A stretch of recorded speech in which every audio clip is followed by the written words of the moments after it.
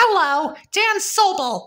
I'm Timmy Turner from the Fairly Odd Parents. How are you today? That's great to hear.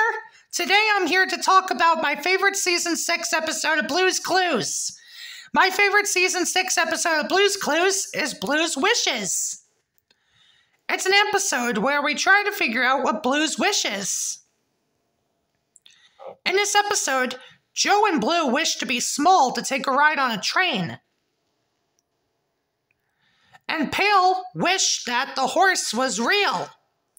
And Tickety Tock's wish is she wanted to meet a real princess. And Mr. Salt's wish is he wished the backyard was a snack yard. The three clues in the episode are the backyard, ice, and gliding.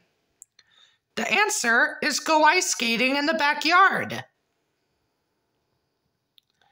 And in the Blues Room segment, Frederica wished that she wanted to have a birthday party.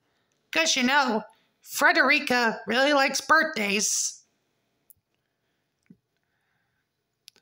And that is what Blue, Polka Dots, and Fred did in the Blues Room segment.